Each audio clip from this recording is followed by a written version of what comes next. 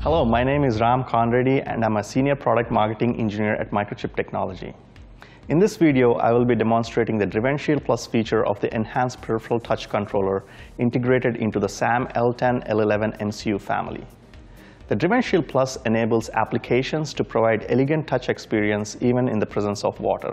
The demo setup includes SAM L10 Xplained Pro Evaluation Kit and QT7 Xplained Pro Extension Kit.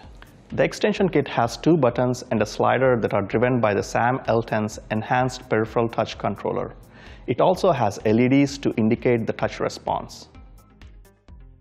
QT7 is now exposed to a good amount of water. As you can see, the LEDs do not blink.